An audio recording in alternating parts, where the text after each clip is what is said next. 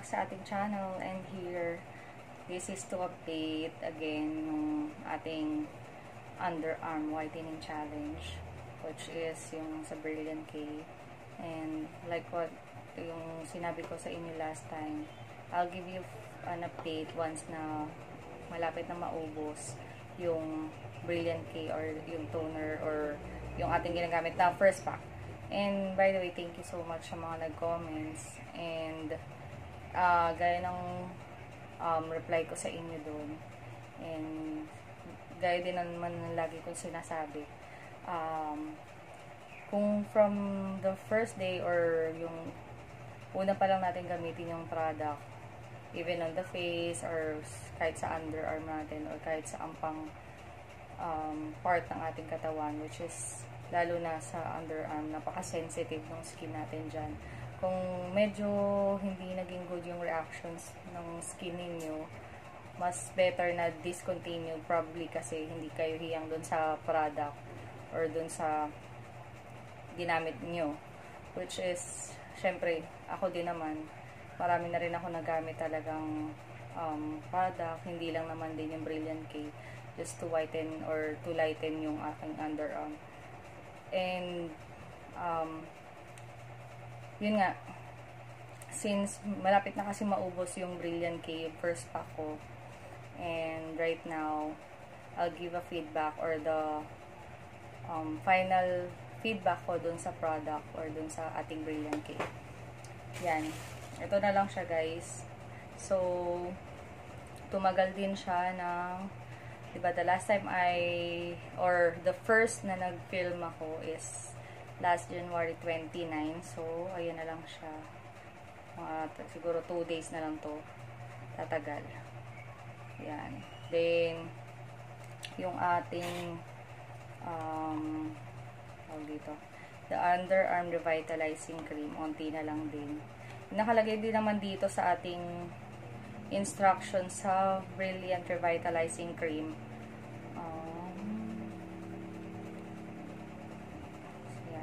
Instruction niya dito or the direction for use.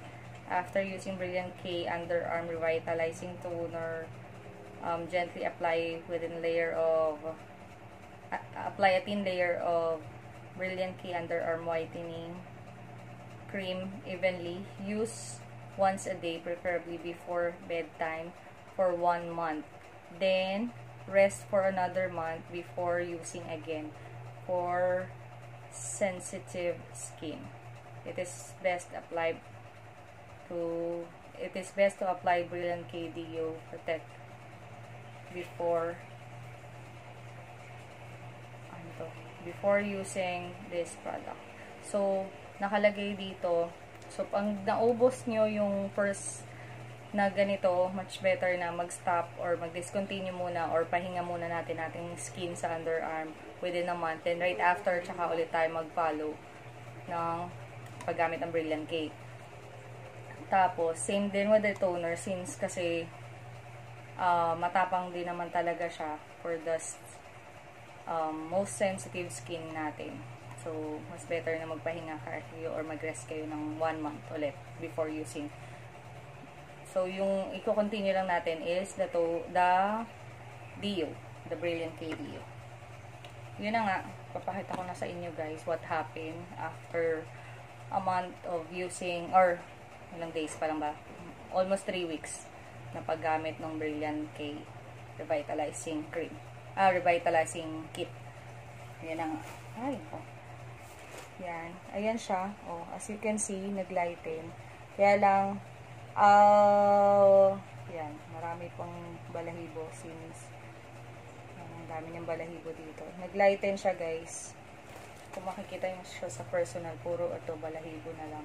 And last week kasi, talaga nag-stop ako or nag um, pahinga muna ako kasi nagkaroon siya. Since matapang kasi yung toner, parang yung toner siya sa face matapang din siya. So, bandang dito, yung portion na nag-white, itong white na to, di ba sabi ko sa inyo, nagbalat siya nung last, nung second week na ginamit ko siya. So, no over yata yung pagbabalat.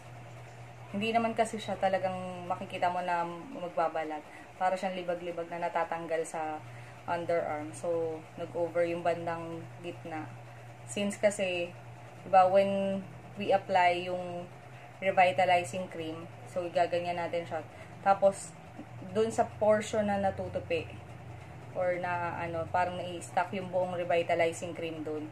So, yun yung pinaka na-focus ng pagbabalat niya. Which is, kaya nag-stop ako last week ng ano, paggamit. So, ito, itong toner and the revitalizing cream, nag-stop ako last week. So, nasa 3 weeks siya pwedeng gamitin yung isang buong ganito. Yun lang.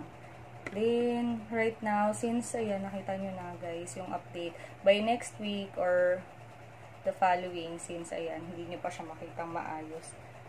Kasi puro siya balahibo uh, will give a, a final update by the next na mag-film ako para makita nyo yung pinaka-effect talaga or pinaka light na balat kasi nga puro balahibo pa siya ayun lang thank you so much guys for watching and thank you din sa mga nag-subscribe sa ating channel and dun sa mga hindi pa nagsasubscribe please do like and share and Don't forget to subscribe na din. Salamat sa mga nagwo-watch ng ating um, channel. And yun lang guys.